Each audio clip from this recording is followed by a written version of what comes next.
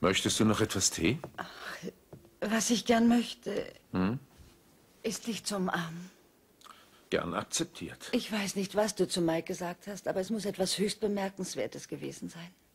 Leslie, ich denke, er ist eben ein bemerkenswertes Kind.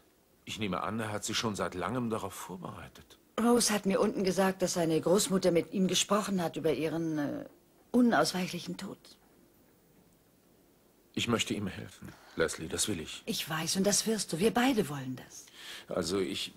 Also ich weiß nicht, wie ich es sagen soll, aber. Es ist eine große Leere in meinem Leben, jedenfalls was Kinder anbelangt. Es war so schön, Laura aufwachsen zu sehen. Aber das ist das Problem, sie ist jetzt erwachsen. Ich weiß. Ich weiß genau, wie sehr du dir eigene Kinder gewünscht hast. Ich wünsche mir dich in mein Leben zurück.